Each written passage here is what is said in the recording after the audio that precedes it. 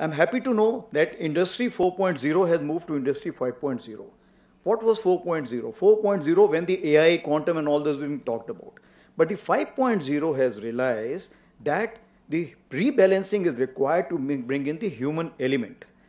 That is, technology is there not to replace human but to support them.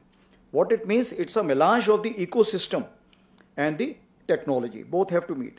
Now, why it is important for us, especially for the Indian Army, because uh, as far the Mask of War book is concerned by Carl Builder, it says the USPs which are there for the Air Force is, of course, the technology and for the Navy, its platform. But in case of Army, it's always the word over is the human resource. That's why this Industry 5.0 is music to my ears because we are looking at human centric technology adoption. We look at humans amplified by AI.